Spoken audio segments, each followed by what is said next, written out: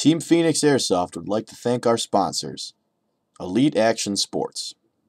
And we'd also like to thank Airsoft Ohio.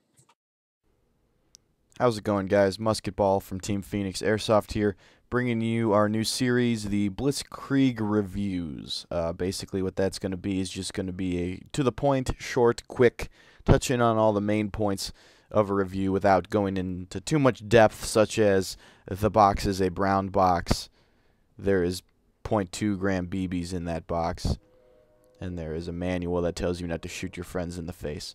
That kind of stuff. Um, we're just going to omit from from our reviews. So basically what you're looking at here today is going to be the new Smith & Wesson M&P 9 Compact or the 9C. Um, really, really nice. It's licensed by Cybergun. It's made by VFC. So if you know anything about the VFC externals, this is a very well-made gun. It feels really great in your hand. Um, they gave it the ability to go fully automatic, which is something that the Real Steel 1 does not do, but they do it in a manner that does not ruin the gun for the uh, the people like myself, the people like other people out there, sure that uh, don't want there to be a big fire selector and kind of change the look of it from what it should look like. Um, what they do is on the inside of the slide, they have a little notch, and I'll show I show you in the uh, little shooting demonstration video here, and you switch it from side to side, enabling and disabling full auto. Um, basically, it just gives you that ability, gives you that that player's choice without having to uh, ruin the look of the gun at all, um, which is awesome. Um, reason why I picked up this gun, and I'm the reason why I'm highlighting it for this first Blitzkrieg video, is that uh, the usefulness of this gun, especially for myself, other left-handed shooters, with all of its uh, ambidextrous uh, accoutrement, if I if I may. Um, the slide release is ambidextrous. The magazine release is ambidextrous. Um, there's no real safety as in it because it has the uh, the staged trigger.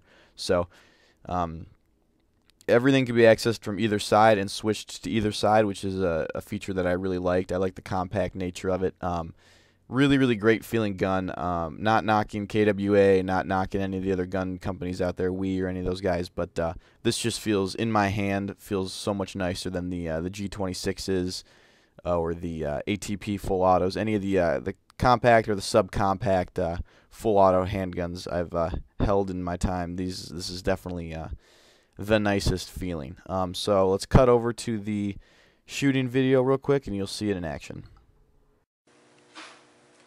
Hey guys, how's it going? Musketball here. Um, just picked up one of the new Cybergun licensed Smith & Wesson uh, M&Ps. Uh, this is the 9C. It's the only model I think they have out right now. I think they're coming out with a 9. Um, made by VFC, real cool. Um, really, really great feel of the gun. Uh, doesn't feel chintzy, doesn't feel like, it feels beefy in all the right ways, doesn't feel heavy.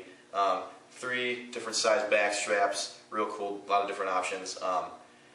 They hide the fire selector, which is really cool. If you can, uh, I don't know if we'll be able to see it, but there's a little knob right there, and you slide it to that, and now it's full auto. So real cool, nice features to it. Um, shoot it.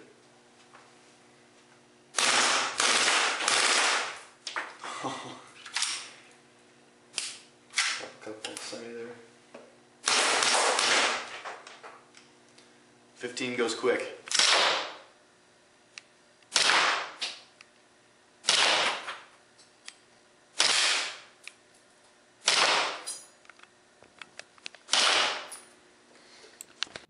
All right, guys, so that kind of wraps up the first Blitzkrieg review in the new series.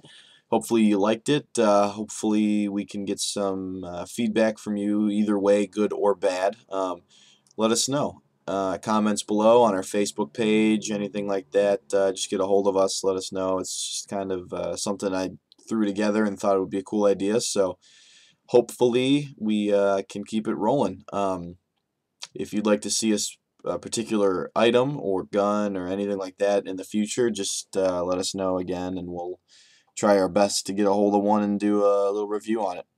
All right, have a good day, guys.